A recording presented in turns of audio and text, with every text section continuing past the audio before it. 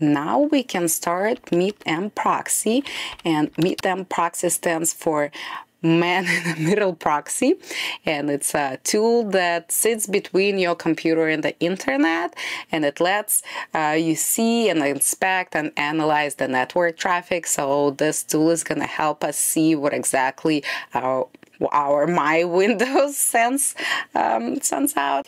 So we use uh, dash dash listen dash host with the proxy IP address that we just set up um, okay, and then we do dash dash listen dash port with the port number, which is 8080. Okay, we just need to delete one space. Okay, now we can hit enter again and start monitoring the flows. Here's another step that I had to take in order to set up this experiment.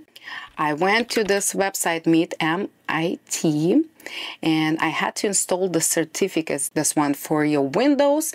I also installed the Firefox certificate. Let's go into flows and I have a lot of applications running here, right? Let's see if any of them trigger the flows. Oh, look, uh, we have a report from Teams.